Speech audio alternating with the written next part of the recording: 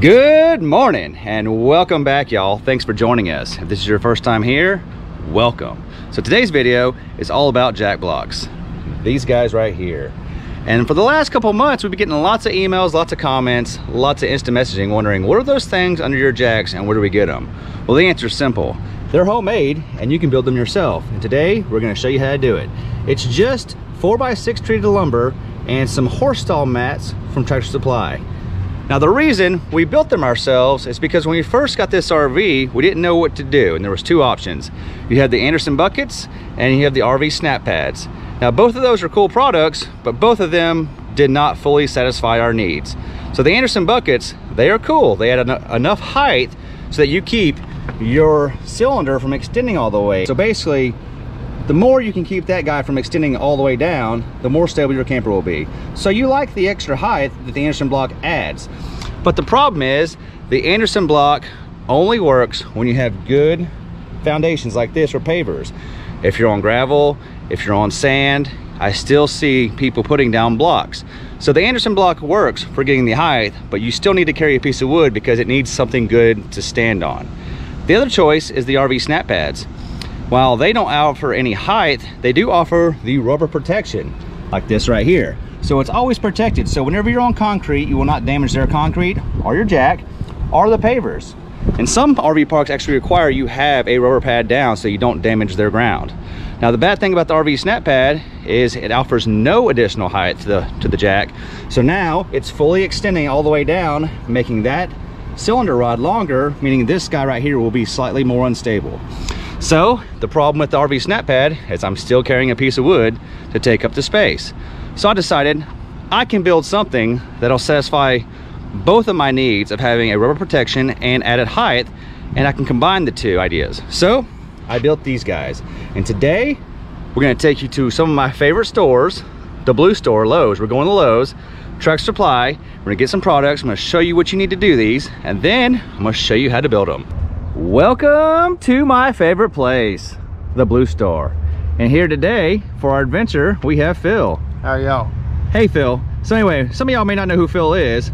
Phil is Alicia's daddy. And Alicia's not here because she's at home recovering with baby boy. They're both doing great, both doing fine. Thanks for all the wishes. Phil, are you a blue store guy or an orange store guy? Blue store all the way. That's right, I'm a blue store guy as well. You guys let me know in the comments. Are y'all blue store people or orange store people? Y'all know my opinion, but let me know why y'all would choose the other store. We're gonna go inside now and get our supplies. Since these are for you, what color you want them to be? Black. Black? Okay. So in ours, we actually use some stain. You can use whatever color you want. And for today, we're just gonna get black spray paint. You can get whatever you want. Whatever whatever color you want your jet box to be. We're gonna need some fasteners. Last time I used the uh, two inch ones, so we're gonna go with those again. Two boxes because we're building two sets. So it's time for lumber. And one of our components is these one by sixes, eight foot long. So we're actually gonna get four of these guys. Our next wood is these four by sixes by eight foot long. So we've got two of those. So we got our wood from Lowe's. Now we're gonna head over to Truck Supply and get the rest of the materials.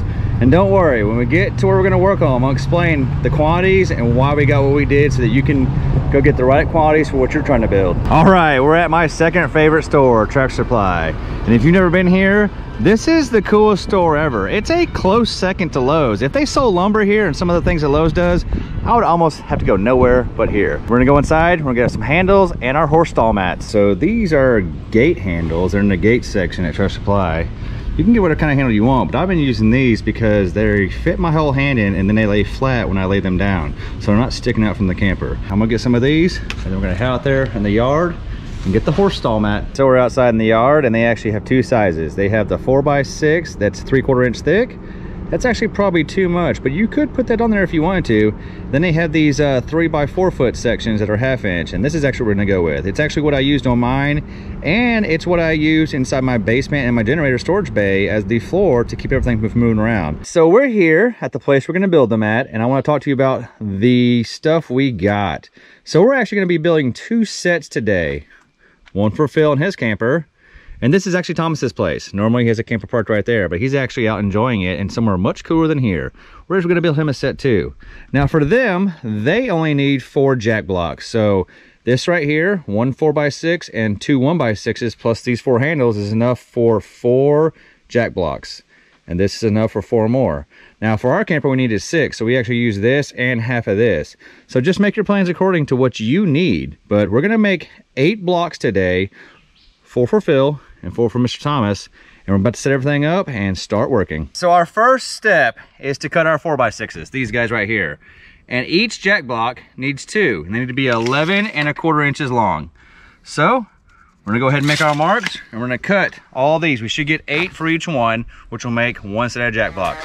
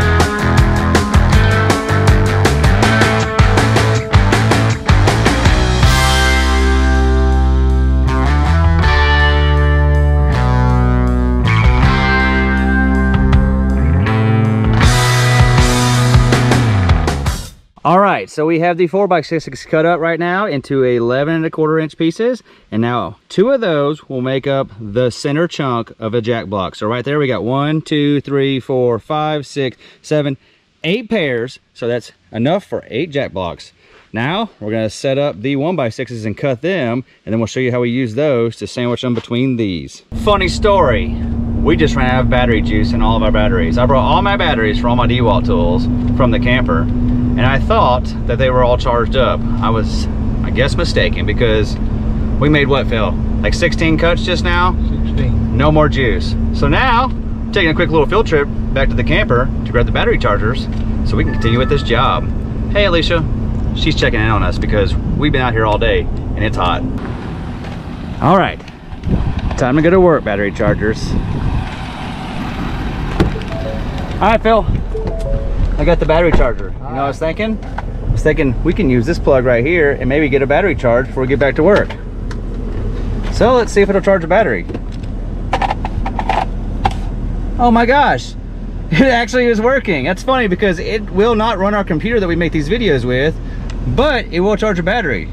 So, looks like by the time we get back over there, it's time to get back to work. So we got back with the charger. You'll notice that we're in a new spot. We were cutting over there, but while we were gone, the sun moved. So now we have a whole bunch of shade right here in the driveway. So we have to wait for all of our batteries to charge up. So instead of going straight to cutting the one by sixes, we're gonna get the sander out and go ahead and sand all my perfect cuts nice and smooth and flat. And then hopefully by then we can cut those guys. Okay, so we finished sanding all of our four by sixes. And I'm actually thinking about changing the title of this video from how to make jack blocks to how to have a heat stroke in Texas. Because right now, Phil, it's hot. The heat index is 111. And we're under a tree. It's actually mid-afternoon, and it's, it doesn't feel that bad. But that right there took way longer than it should have. So, we're going to take a little break, drink some water, and next step is to cut our 1x6s up, and then we'll show you how we start assembling these jack blocks. Our batteries are finally charged. Right, Phil? Right. They are charged? Just so Yeah. you know, you're you're the you're the the charge monitor right now. By the way. There are two charging that will be charged. Oh, oh, will be. Okay, so probably by the time we get done marking these boards, they'll be ready to go, right? I'm hoping. So, our next step is we're gonna cut our one by sixes, and we're gonna cut them to sandwich those together. So we're gonna cut each one of these 11 and an eighth long, and we'll actually make double the amount of number of those. So we have 16 of those, right? Yeah, 16 of those. So it could be 32 of these. 32 of these. And guess what? When we get done cutting them, Phil, they're all gonna need a little bit of sanding. Oh boy. But it shouldn't be that bad. It's just the ends where we cut. We're gonna smooth it out so it's nice and clean. Okay. So we're gonna get set up and start cutting these and we'll probably do a time lapse because who wants to watch us cut 32 boards?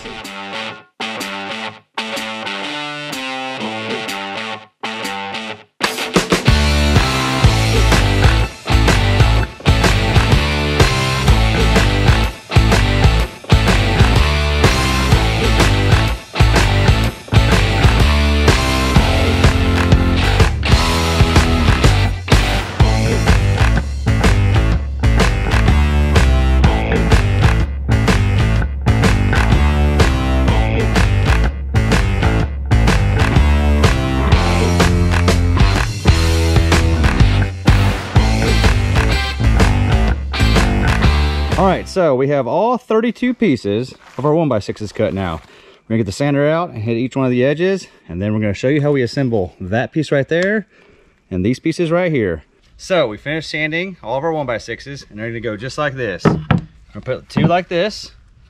We'll take our 4x6s, put them just like this, and then we're gonna come back with two more 1x6s on top. Then we'll screw all these together and once they're secured, we'll paint them up.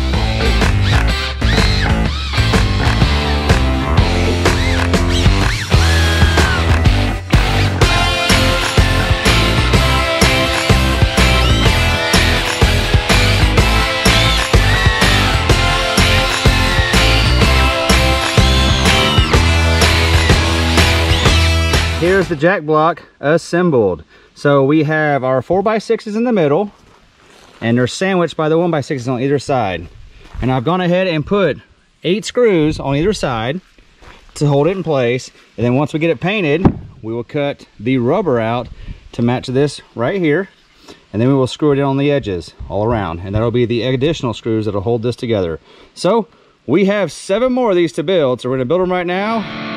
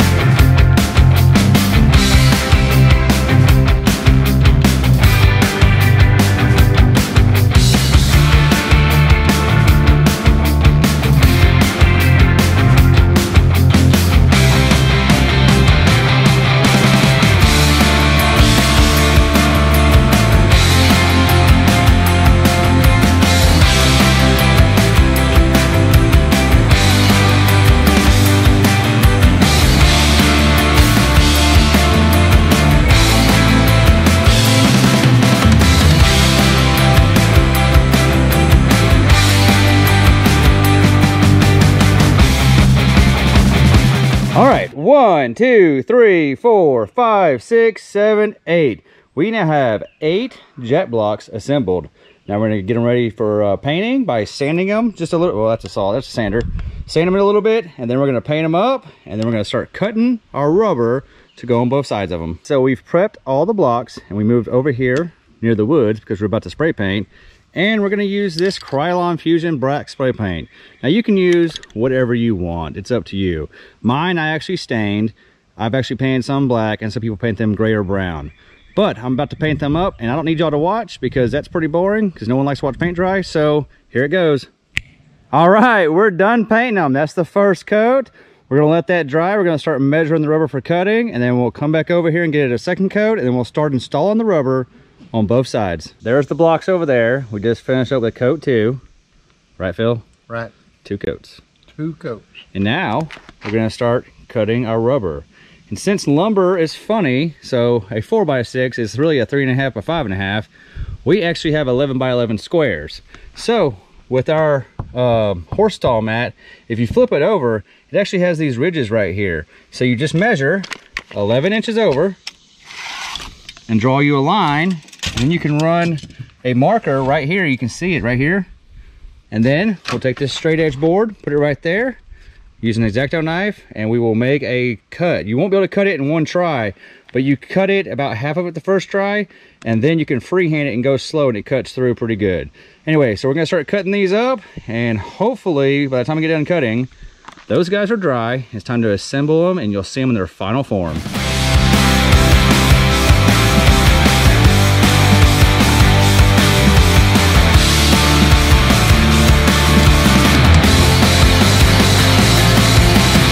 So we have all 16 of our rubbers cut. We have all eight of our jack pads painted and back over here. And now all we're gonna do is take the piece of rubber, put it on top like that, and then we'll secure it with about, I don't know, six or eight screws, flip it over, put the second one on the bottom, and then we're gonna put our handles on. We have all eight jack blocks assembled with rubber on both sides and it looks something like this. We End up putting about eight on either side. So one, two, three, four, five, six, seven, eight, nine, ten, ten. We put 10 on each side. But that's because we needed to cover the gaps and make sure that the rubber stays on. Now, we're gonna use these handles right here. Got from Tractor Supply. Gonna put them right there. Gonna mount them on each one and then each one will have a handle and we'll show you the final product. Okay, so we have our jack blocks completed. They are painted up black with rubber on both sides. And now we have our handle. So now I can carry them around wherever I need them. When I set them down, the handle falls out of the way just like that. And now we have the added protection of the rubber on the top and the bottom so we won't damage the concrete or our jacks. And we have the increased height from the wood. But the big reason why I chose to build these over buying stuff is because of the cost. The Anderson blocks, they are cool, but you still have to carry a piece of wood and they cost $300. So it's roughly $50 a can. The snap pads are also awesome because they offer protection, but no height. So you still have to carry a piece of wood and they cost $30 uh, jack. These right here, doing it yourself, cost roughly $25 and I get the best of both worlds. I get the added protection of the rubber and the height. All right, guys, I hope this video helped you out and then you can build them yourself. If you have any questions, hit me up in the comments down below. Thanks for hanging out today. See y'all next time.